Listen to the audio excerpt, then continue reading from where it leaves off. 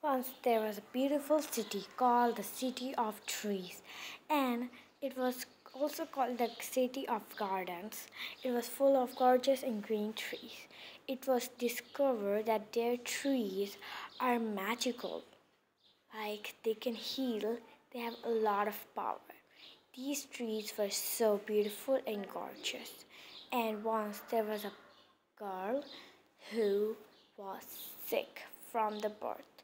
As she grew older, her sickness grew with her. She was very sad, hopeless. And as she grew, she found out that the trees are magical. And once she was passing by those trees, and she accidentally touched them, and she was healed.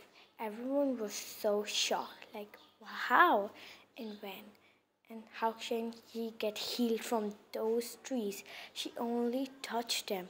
Everyone was so shocked, and it became very famous. And a lot of tourists, a lot of people came from different city to visit the uh, the town to see those trees, those plants, how magical they are but they started to take those plants and trees to their house without the permission of those citizens.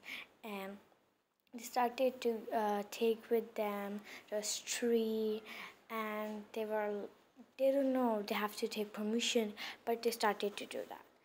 The people of this town were very angry.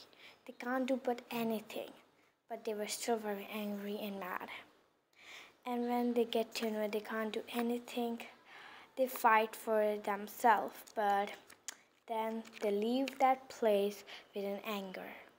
That was it